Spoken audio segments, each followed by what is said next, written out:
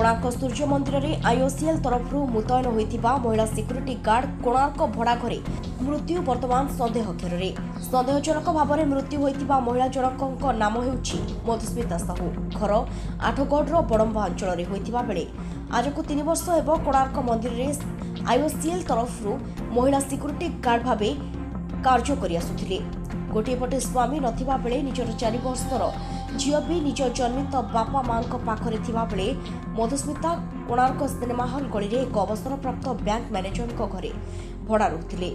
ଗତକାଲି ନିଜ ଡ୍ୟୁଟି ସାରି ଘରକୁ ଫେରିଥିଲେ ମଧୁସ୍ମିତା। ହେଲେ ଆଜି ସକାଳୁ ଡ୍ୟୁଟି ସିଫ୍ଟ ଏ ଥିବାବେଳେ ଡ୍ୟୁଟିକୁ ଠିକ୍ ସମୟରେ ନ ପହଞ୍ଚିବାରୁ ଅନ୍ୟ ଷ୍ଟାଫ୍ ଯୋଗାଯୋଗ କରିଥିଲେ ମଧୁସ୍ମିତାଙ୍କୁ।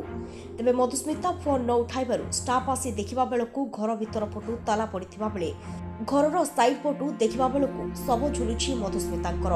ତେବେ ଏପର୍ଯ୍ୟନ୍ତ ଘଟଣାସ୍ଥଳରେ କୋଣାର୍କ ପୋଲିସ ଉପସ୍ଥିତ ଥିବାବେଳେ ଗୋପ ତହସିଲଦାରଙ୍କ ଉପସ୍ଥିତିରେ ଶବ ଘର ବାହାରକୁ ଶବ ଘର ବାହାରକୁ କରାଯିବ ବୋଲି ବ୍ୟବସ୍ଥା କରାଯାଇଥିବା ବେଳେ କୋଣାର୍କ ଥାନା ଅଧିକାରୀ ରଶ୍ମିରଞ୍ଜନ ମଲ୍ଲିକଙ୍କ ସୂଚନା ଅନୁଯାୟୀ ସାଇଣ୍ଟିଫିକ୍ ଟିମ୍ ଆସି ତଦନ୍ତ କରିବା ପରେ ଘଟଣାର ସତ୍ୟାସତ୍ୟ ଜଣାପଡ଼ିବ।